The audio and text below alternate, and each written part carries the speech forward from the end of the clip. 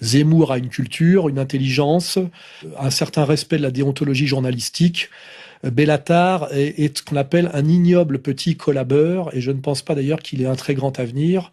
Et euh, autant quand je croise Zemmour, je suis capable de lui serrer la main et de, lui adresser mes vives critiques, mais dans le cadre d'un débat où il y a des règles que nous respectons tous les deux, autant Bellatar est un sous-voyou, car euh, en fait c'est un voyou qui n'a pas les moyens physiques de la voyoucratie. Voilà, euh, c'est ce que j'appelle une petite merde.